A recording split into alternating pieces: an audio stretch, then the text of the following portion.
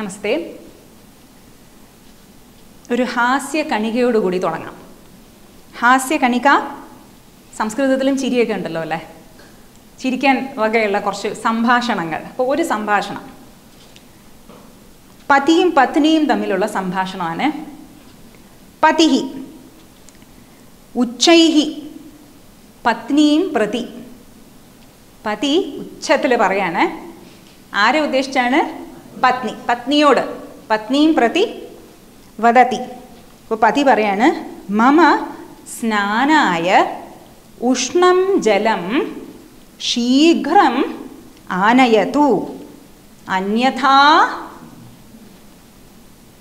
അവിടെ ഒന്നുമില്ല. Dash dash dash.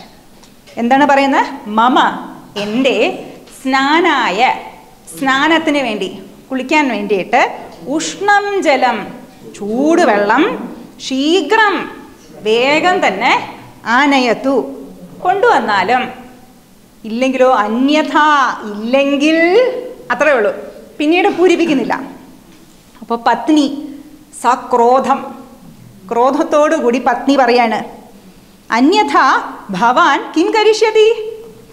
അന്യഥ ഇല്ലെങ്കിൽ ഭവാൻ അങ്ങ് കിം എന്ത് കരിഷ്യതി? കരിഷ്യതി ഭാവി കാലാണ് ഫ്യൂച്ചർ ടെൻസിന്റെ രൂപമാണ്.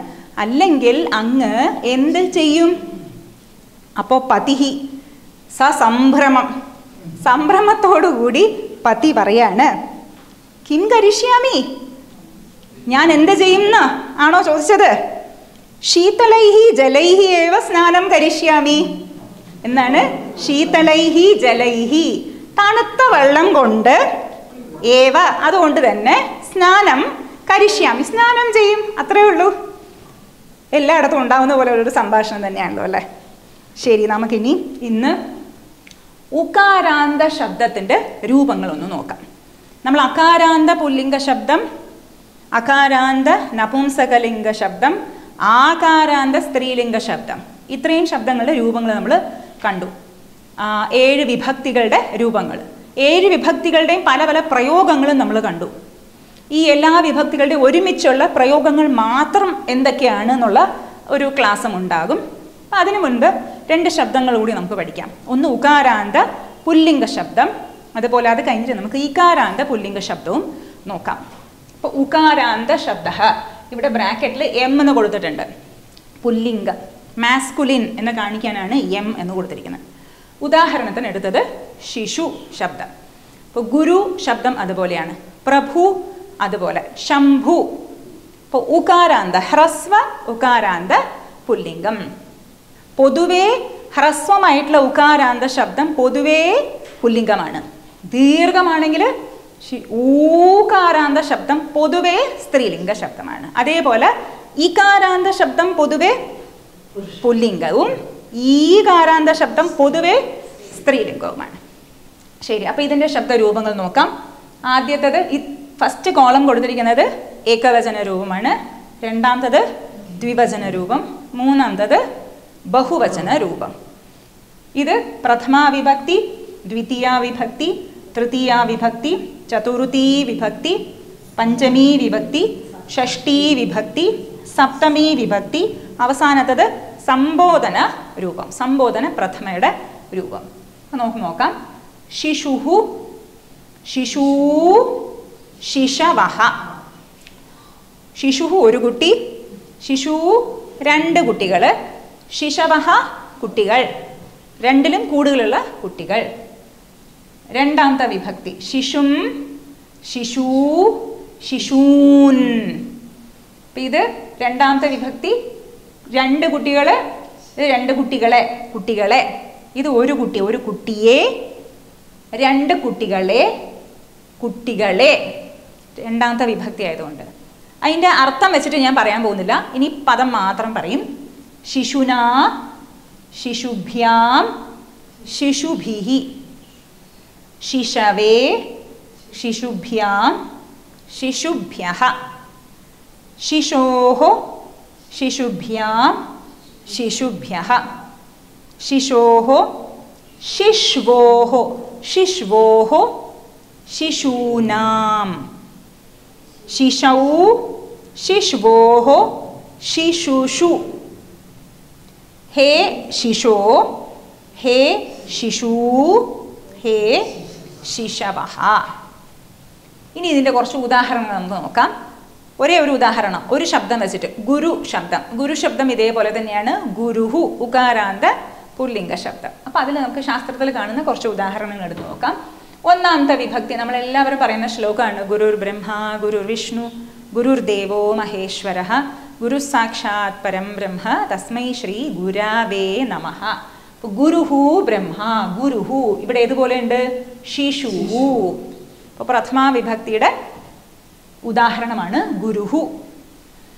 ഇനി രണ്ടാമത്തെ വിഭക്തി. ശിശും ശിശു ശിശൂൻ. ഇപ്പൊ ഈ ശിശൂന് പോലെ ഉണ്ട് ഇവിടെ ഗുരൂൻ ഭഗവത്ഗീതയിൽ അർജുനൻ പറയുന്ന വാക്യാണ്. അർജുനൻ പരിഭ്രാന്തനായില്ലേ? യുദ്ധക്കളത്തിൽ തന്റെ ബന്ധുക്കൾ മിത്രങ്ങൾ സഹോദരങ്ങൾ എല്ലാം കണ്ടപ്പം അർജുനൻ ഭയന്നുപോയി. എന്നിട്ട് അർജുനൻ പറയാണ് ഞാൻ ഇവരെ ഒന്നും കൊല്ലാതെ ഭിക്ഷാടനം ചെയ്ത് ഞാൻ ജീവിച്ചോളാം എന്ന് പറഞ്ഞുകൊണ്ട്.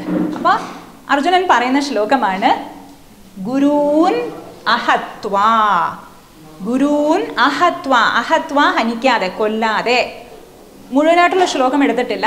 അപ്പോൾ ഗുരൂൻ ഗുരുക്കന്മാരെ ഗുരുക്കന്മാരെ ദ്വിതീയ വിഭക്തിയിൽ ബഹുവചന രൂപമാണ് അത്.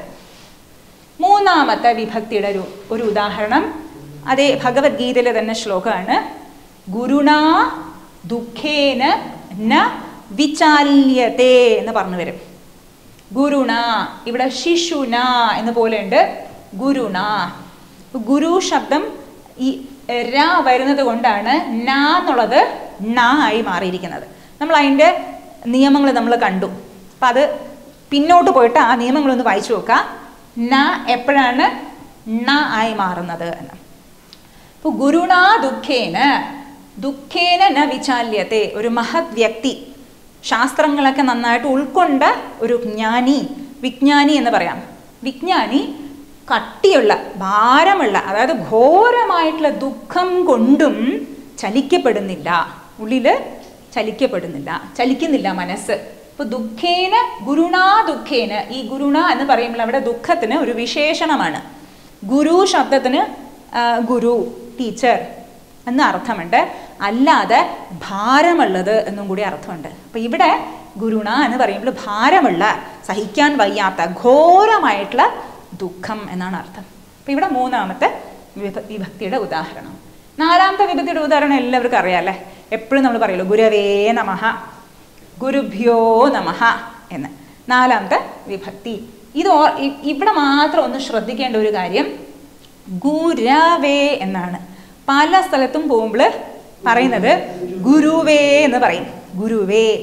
അപ്പം നമ്മൾ സംസ്കൃതമൊന്നും അറിയാത്തവർ ചൊല്ലിയാൽ പ്രശ്നമൊന്നുമില്ല. പക്ഷെ നമ്മൾ പഠിക്കുമ്പോൾ നമ്മൾ അറിയണം. ഗുരുവേ അല്ല ഗുരവേ നമഹ.